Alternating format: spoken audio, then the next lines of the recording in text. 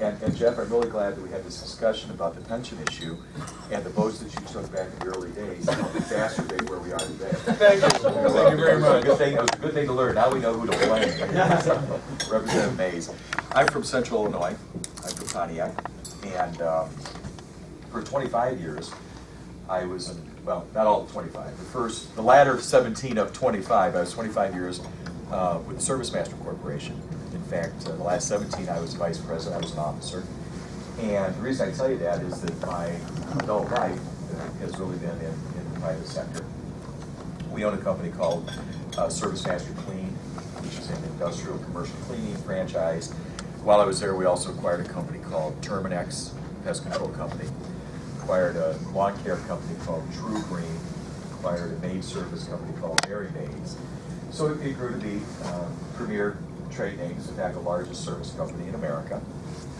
I was our uh, vice president for international expansion, so I negotiated our licenses, taking Terminix to the Philippines and Service Master to Honduras and Malaysia and Singapore. So I, I, and I tell you that part of it because also gives me a chance to experience people of different cultures and religions and, and those kind of things. So for uh, simultaneous to that private sector experience, I was also elected to the state house and later to the state senate.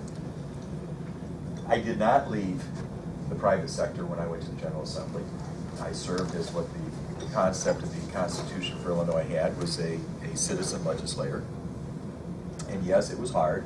It's hard to you know be in the legislature and not miss a day in Springfield, but then also on a Thursday night fly to Madrid, Spain, work on contracts over the weekend, fly back Monday, and be in Springfield for Tuesday and not miss a day of session. But you know it, it can be it can be done.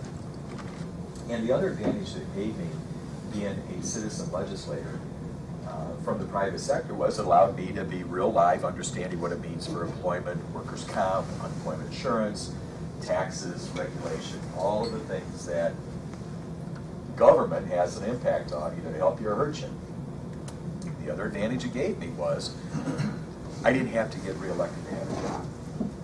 And there's something, and think about what I just told you, there's something really liberating about knowing you can go to Springfield and cast votes because of what your mom helped you become, what you've learned as a, as a young person and into an adulthood, and respectfully to your constituency, but actually be able to make policy for what you believe is the right thing to have happen as opposed to perhaps a politically opportune moment.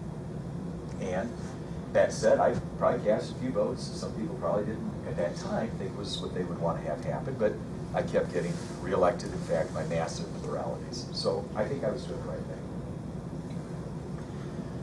About, uh, well, now it's, well, probably about, it, about 2009, uh, I, I was looking at where my state was at and didn't like the way it was going. And I just thought strong and hard about actually going out on that statewide stage and run for a statewide office. now, I know we're not going into the political, but this is a political discussion, obviously. But um, you know, I'm a Republican, and I'm proud of that. And I know there's probably some Democrats in the room or some independents and so forth, and, and that's all fine too. But when I looked at running in Illinois, every single constitutional officer in this state was a Democrat from the city of Chicago. The Speaker of the House, the President of the Senate, the President of the United States of America. Everybody was a Democrat from the city of Chicago. Yeah, I'm from Central Illinois. I am white. I am a male. I am a conservative, and I am a Republican. and I decided to run in Illinois. My opponent uh, was an African American female, city of Chicago, Democrat, with an Irish last name. So you think about how hard this was going to be. And I went out there, and we were obviously here in Adams County and Brown County and all, all over the place, a lot, a lot, a lot. And we stuck, stuck to talking about the fiscal, you know, the financial. Other issues are important, I know, but that was really what was paramount. And we won. And the reason I'm going, telling you about all this, I'm going to tell you the raw politics to it. Then we'll get into some of the substance of, of governing. Because I don't care what anyone may tell you they will do for governor, if they don't get in the big chair, it doesn't count. I'm the only Republican running for governor that has actually been able to win a statewide race here in Illinois. I'm the only one.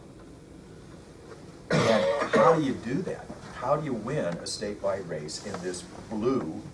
And because I got elected, Judy Baar and Mark Kirk, we finally elected some Republicans on a statewide stage, so maybe it's now dark purple as opposed to a blue state.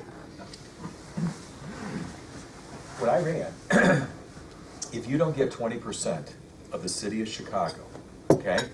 Doesn't matter what you do in Livingston County or Adams County. Even if we had hundred percent of the turnout in those kind of counties, you don't win a statewide race unless you get twenty percent of the city of Chicago. One hundred years, Ted McClelland from NBC did a check, one hundred years, no one has ever won without getting twenty percent of Chicago. We got twenty-two. Remember who I told you my opponent was? So for me to get twenty-two, let alone the minimum twenty, was a tremendous feat. Our Republican candidate for governor that year got eighteen. We won and he lost. Keep going through this. There were four people running. Democrat, Republican, Green, and Libertarian. If one person, when you have four on the ballot, if one of those four gets fifty percent of the vote, that's pretty substantial. And that's what we did. My Democrat friend, she got forty-five. Green Libertarian, two and three. In forty years, since the nineteen seventy Constitution, only three Republicans had ever been elected comptroller or treasurer. The two offices, they're down ballot, they get little attention, hard to raise money. TV cameras don't show up much, you run for governor. Loleta Didrickson, George Lindberg, and Judy Baar Topinka. We don't elect down ballot. And finally, Rutherford got elected. There were 3.8 million voted in the 2010 general election. 83,000 less people voted for treasurer than governor. They drop off. You know, you go down ballot and they drop off. Out of six races, they drop off before they get to the bottom of the constitutional. Yet with 83,000 less people voting for the office of treasurer, I got 66,000 more votes than Pat Quinn got winning the governor's race, with 83,000 less people participating. So I looked at all of that, and I said, we can actually win this race. Now, you don't go out and just say you're gonna win the race because you think you can, without also in your head, mentally, what you're gonna have to go through. This is hard. And then what you're gonna do when you actually get in the big chair. Because being governor and don't have a vision of where you wanna go is, is gonna be pretty complicated. So, let me just be right up front with you. Um, and, and I talked to some of our media friends earlier. There's a lot of issues out there, some of them are somewhat geographic. If you're in, if you're in, uh, the south side of the city of Chicago, crime and drugs and gangs is a huge issue. If you're deep southern Illinois, fracking, coal is a huge issue. If you're in our western part of Illinois or central part of Illinois, agriculture and, you know, it's a huge part. And so, so, but the one issue that runs all the way through is where we are in regards to putting people back to work. Now, I was, I was visiting here with, with with Jack, and the unemployment rate in the area maybe six, between six and seven percent. You're blessed. Statewide, the unemployment rate is nine point two. You go to Decatur, Kankakee, and Rockford, and it's in double digits. People are hurting for jobs. Now, I realize if you got jobs here and you can't find people to fill them, well, shame on them, but people are hurting for jobs. And when you read the statistics that more people are moving out of Illinois than moving into Illinois, or you talk to the mother that's concerned about her daughter looking to move out of state when she finishes school, and you look at the, the, uh, the husband who's concerned with keeping his job to be able to feed his family, that is the paramount issue that I'm gonna be and do as governor. I respect that the other gentlemen that are running may well have similar type of approach or answer to it. But here, what will Rutherford do as your governor? Three things. Number one, I selected a lieutenant governor. And let me take a pause here. There's a candidate for lieutenant governor from your area who's running uh, with one of my challengers. I know her very well. She and I are friends. We get along very, very well. I even spoke to her on the phone and I wished her well. But you're gonna be elected a governor, not a lieutenant governor. And that's where I hope that as you give me the opportunity to earn your support as your governor candidate, that you won't just look at a parochial reason to, to see who's gonna be the, the- the lieutenant. My lieutenant governor's background, he's a, a- a businessman, was a local elected official, uh, ran statewide before, lost to Lisa Madigan, but he got one point two million votes against the highest vote voting Democrat. Um, And he's a business guy that works with companies that are looking to locate in Illinois, primarily from overseas, to set up factories. So there's a new solar panel manufacturing facility that's located in northern uh, uh, suburbs of Cook County. He helps negotiate bringing that in. Works with companies that export overseas. IDT up in Belvidere.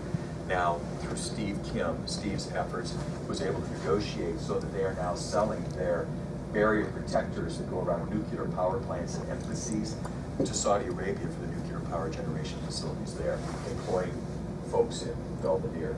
Works with companies that are looking to expand.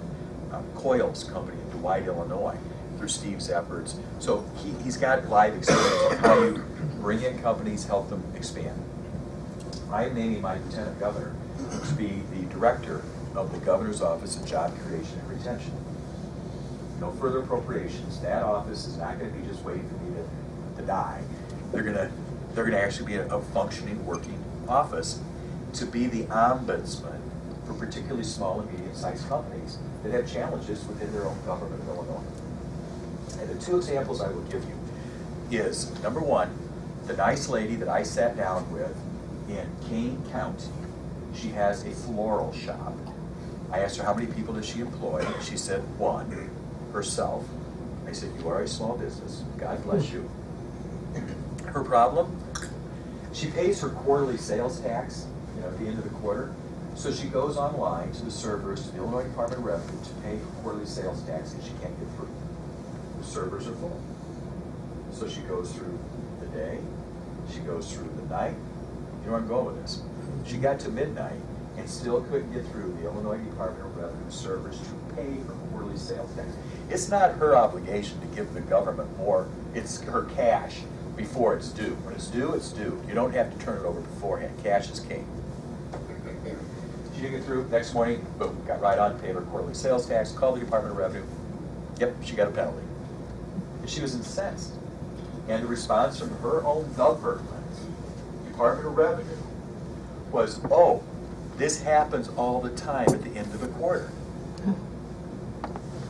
If you want to buy a ticket on American Airlines to get the discount fare to Phoenix, Arizona, and it expires at midnight, you can go on AA.com until 11:59 p.m. dot aught aught aught and buy your ticket. What is this woman's recourse? You didn't have one.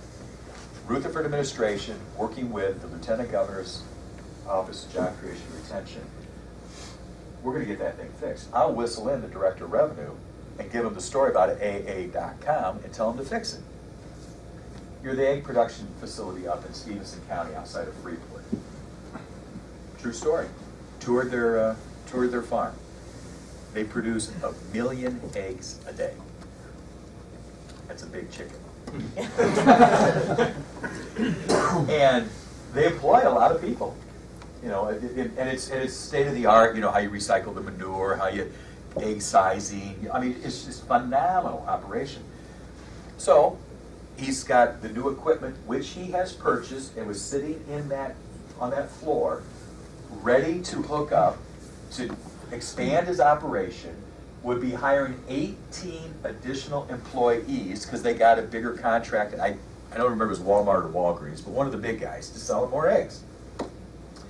The inspectors from the state of Illinois came in, which they should, and there was, I think, six, six things they needed to do before they could hook it all up. I don't know what it was, you know, lighting, size, something. So they did the six things. Three months later, the inspectors from that state, state agency came back and agreed those six things were done and found four more.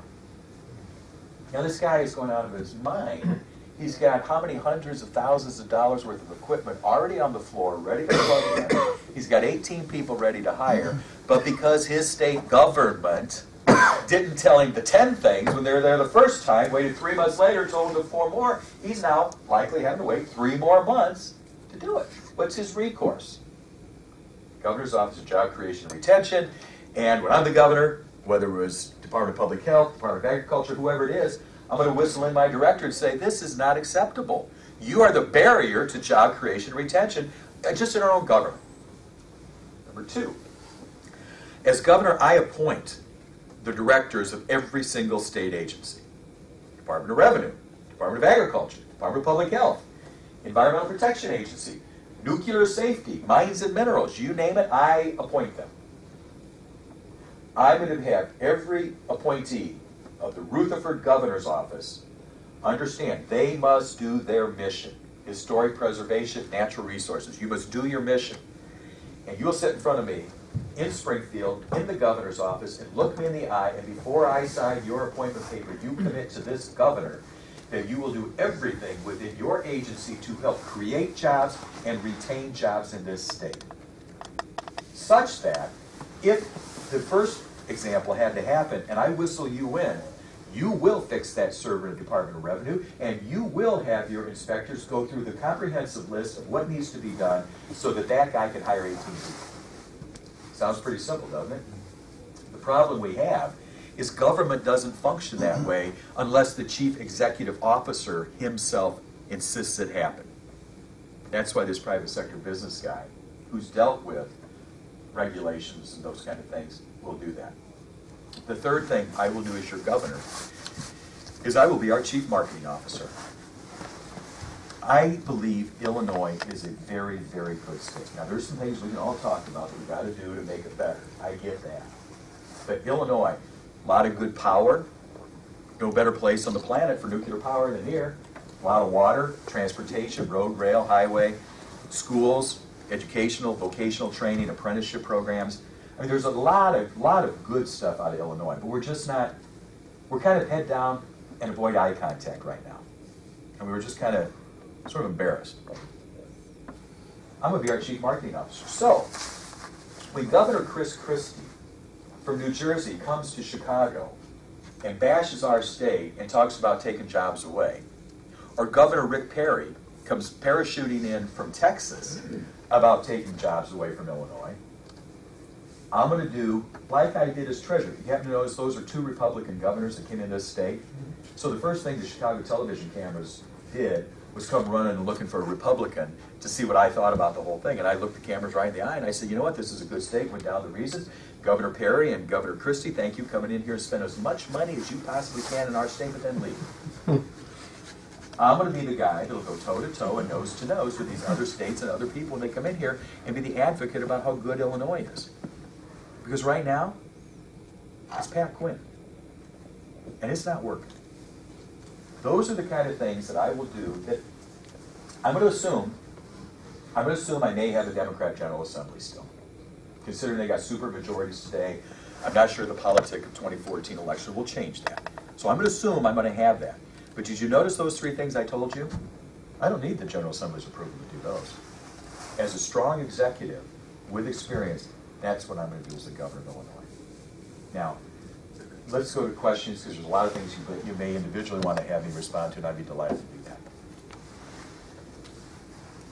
Are you raising your hand, or you're my staff? Why are you going to ask me a question? He's got the planning question. Well, to be a good state, you're gonna have to get your finances in, in order. I mean, it's one thing to, to market it, but it's the other thing is to have, have the financing, pensions. Right. All the, the tax, I mean, where are you at on the sunsetting of the tax, Sure. current tax?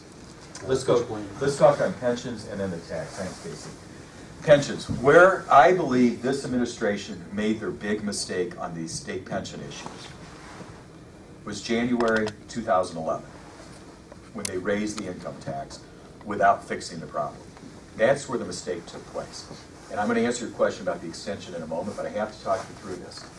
If revenue, if revenue should, by some, thought to be a part of the fix, then it should never have been singularly voted on without where are you at on the budget spending, where are you at on the borrowing, and especially where are you at on the pension issue.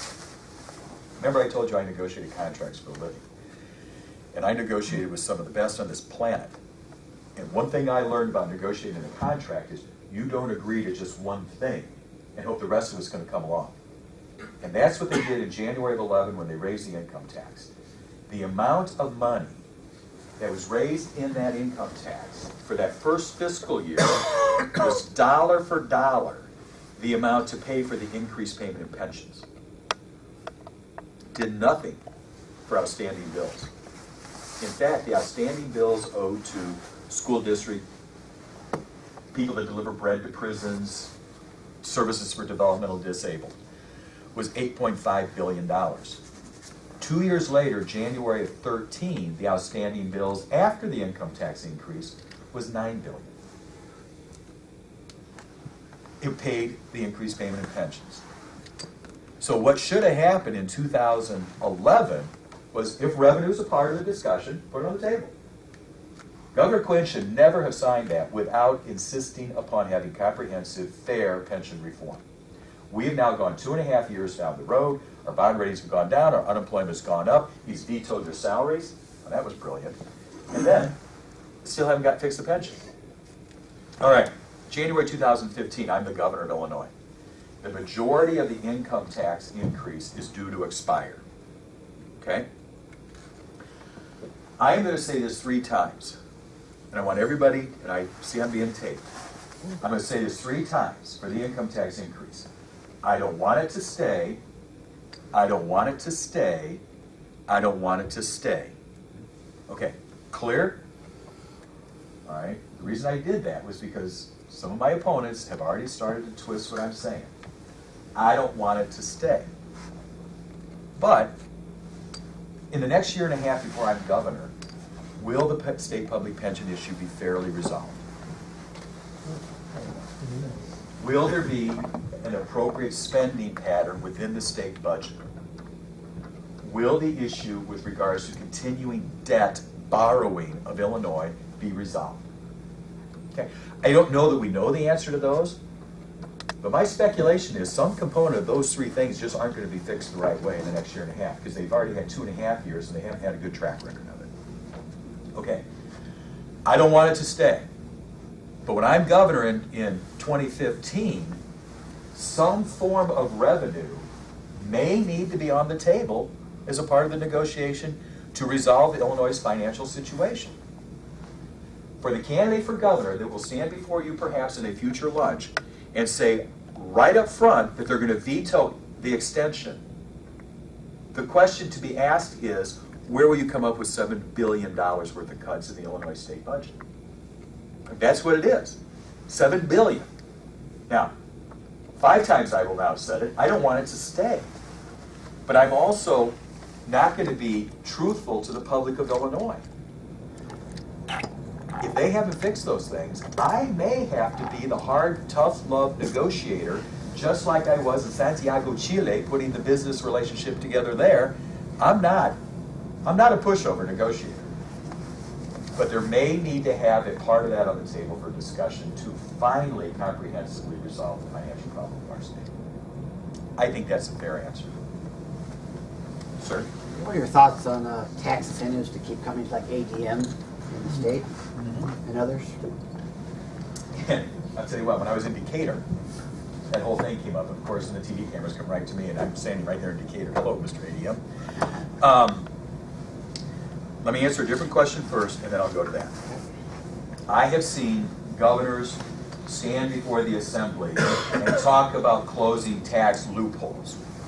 Well, I don't like that word. As a businessman, as your governor, I'm going to have accountability for tax incentives.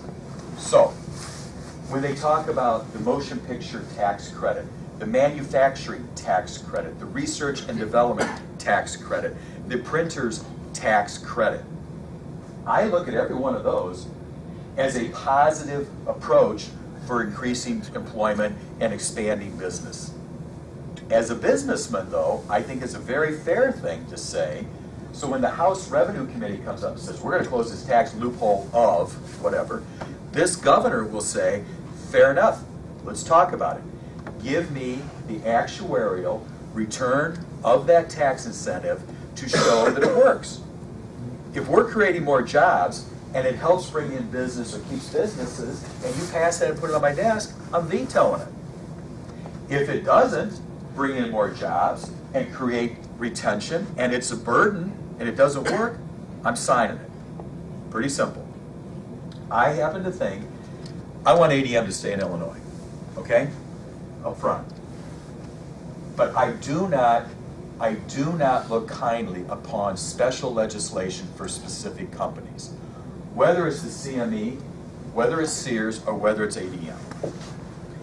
If it's good enough for the needs of ADM, make it law so every qualifying company can participate in the same benefit program. If it's good enough for CME and Sears, then make it whoever company may well be here in Quincy to take advantage of it. Now, I, am not going to go down the path, they don't have enough lobbyists and they got, you know, paid lawyers and all that kind of stuff. I look at it as, I want these companies to stay. I get the reason that the, the mindset has to go through. But when you start passing special legislation for specific companies, you always have a winner and somebody loses. This governor will be very, very advocating of if it's good enough for A, then it should be good enough for everybody. Recognizing that you needed to take a a certain percentage of the cook in the collar counties, what will your campaign be up there? How do you convince Uh-huh. twenty percent of the people to vote for you? All right, now I'm going to be real blunt. I'm a Republican and I'm proud of it, but our brand is damaged. Okay? It's damaged. A lot of people, particularly minorities and the gay and lesbian community, think that we have horns and a tail.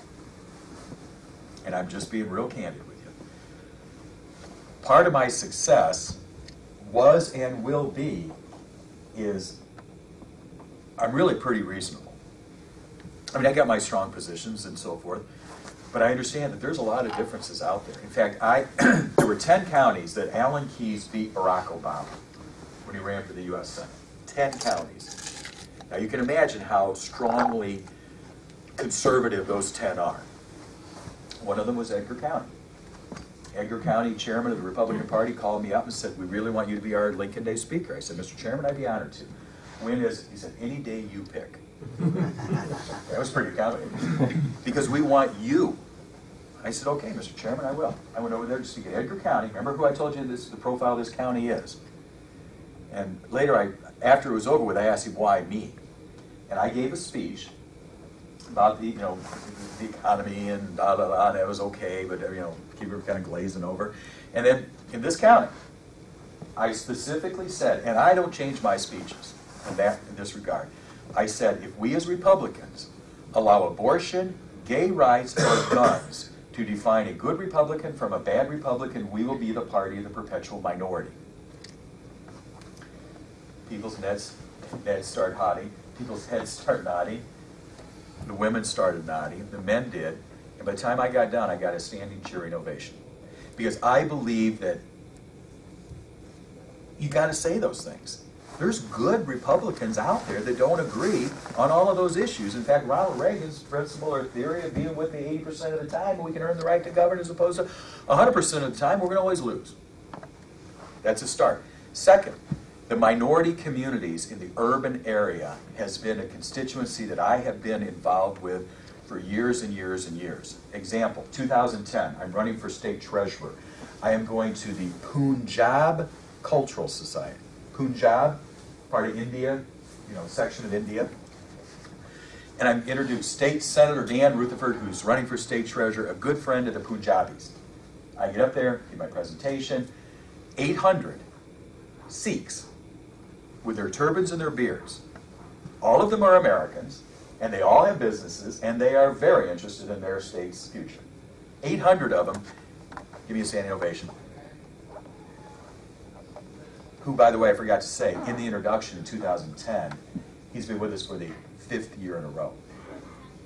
2013, Saturday night before my Christian's holiday, Easter. I get a hold of Josh Lanning, you know Josh Randy, my executive assistant. I said, We're going to Chicago. He goes, I'm getting family over to my house tomorrow for Easter. You got your family. What are we doing? I said, we're going up to the Punjabi Cultural Society. I said, we're not going to stay, but I got to go. We went up there. I kid you not. We were, were you with me that night? You were on the road? I think I was. Yeah, Casey was road warrior with Josh. And by the time we got to the curb to the auditorium, it took about 45 minutes just from people shaking hands, taking photos, wanting an autograph.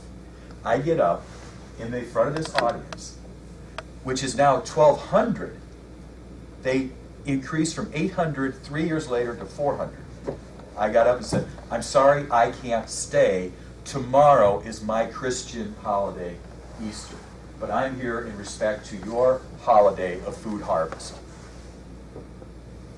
I was introduced as having been with him for the eighth year in a row. 1,200 Cs got up and gave me a standing cheering ovation.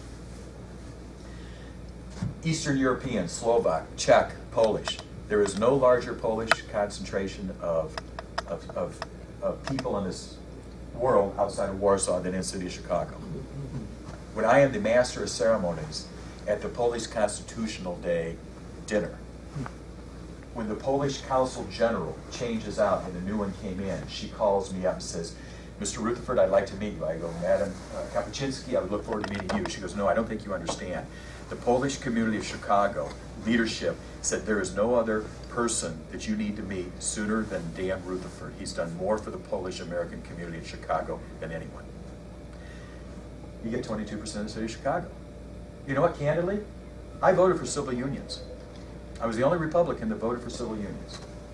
I happen to think that two consenting adults, same sex or opposite sex, want to have a union to determine um, hospice care, financial, what, who's my government to get in the middle of that? Go ahead and make that decision.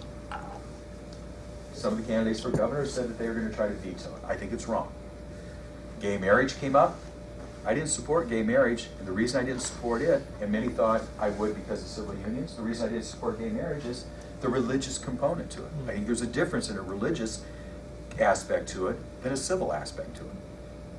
So now, when the gay and lesbian community, which is a massive voting bloc in the Chicago urban area, sees a Republican, all right, he ain't everything they wanted, but he's reasonable.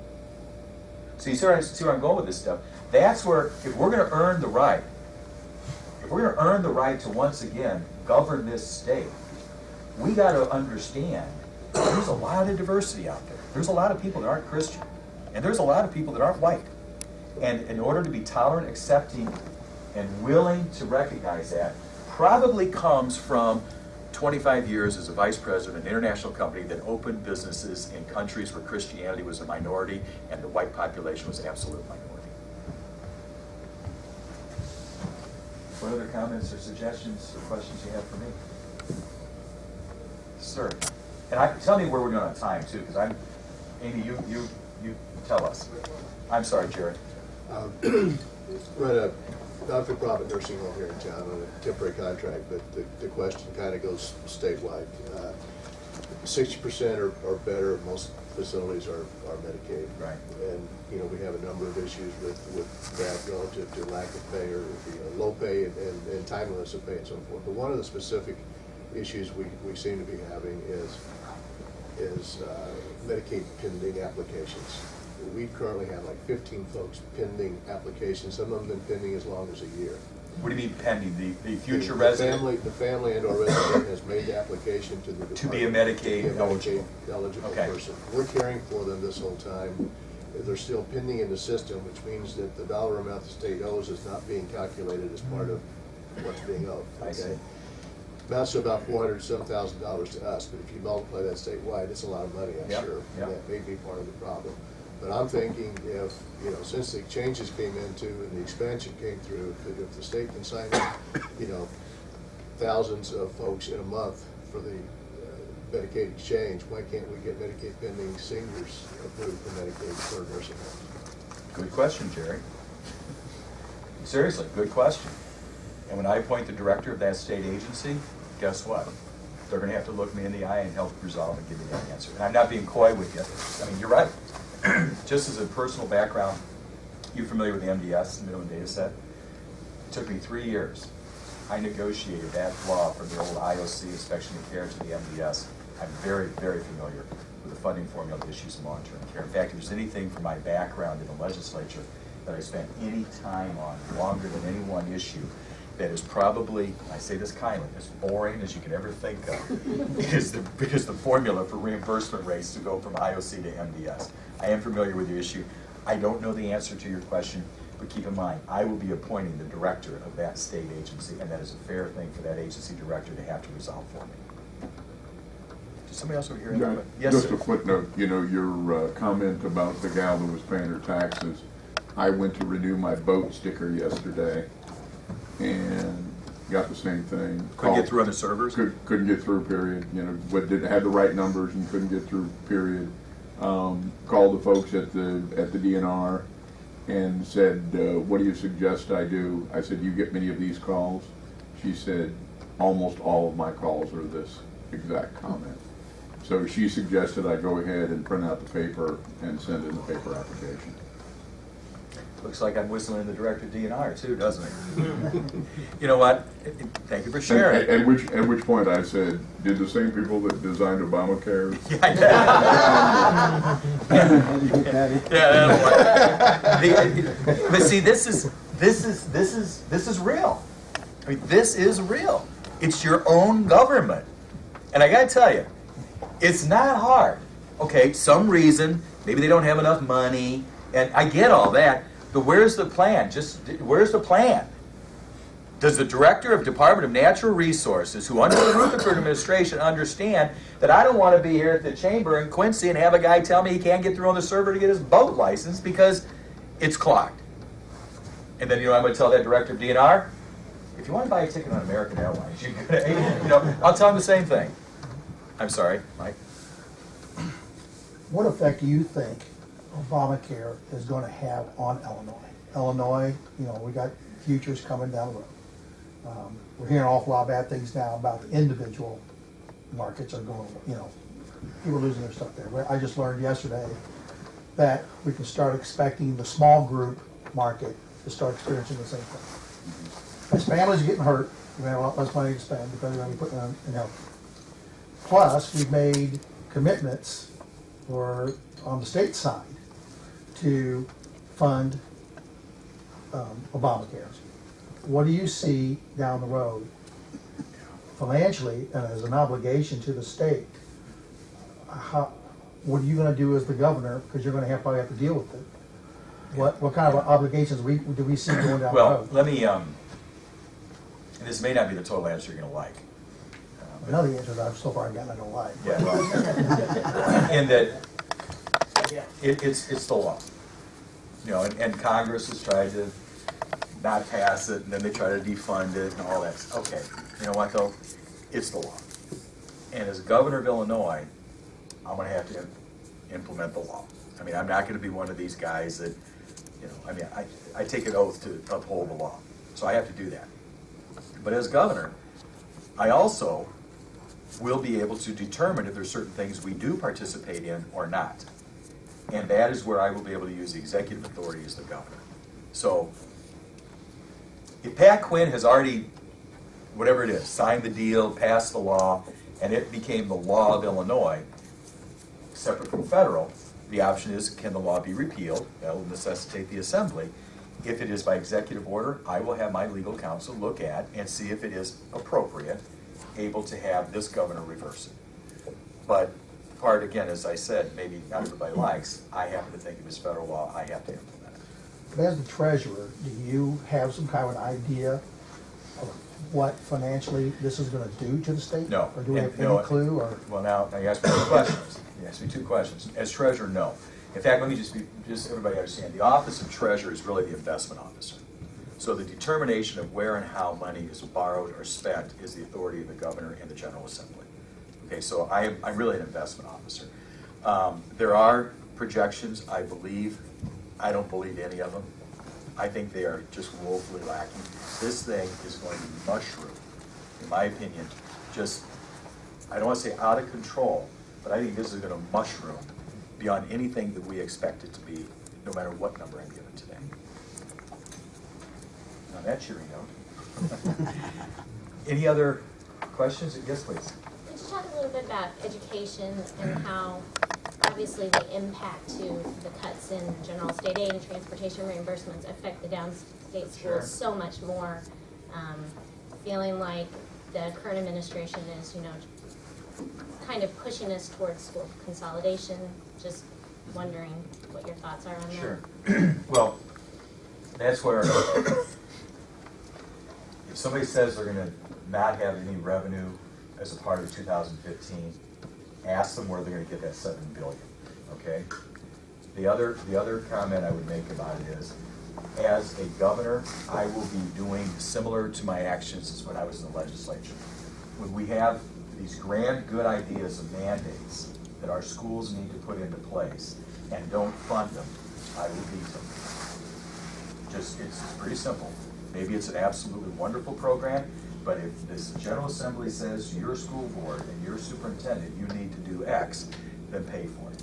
If you don't, I'm vetoing it. And the ultimate answer to get to the point that you asked is the state public pensions.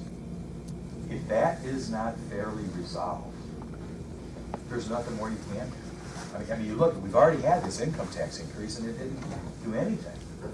It didn't do anything except pay for pensions, which payments should be made. I don't, I'm not diminishing that. So the, the best I can give you with regards to how you deal with education, education funding is fix the state pension issue, because until that's fixed, you can't even begin to address additional resources going to schools. Philosophically, how I think about it though, unfunded mandates, this governor will veto. Anything else for me? Then if not, let me, um,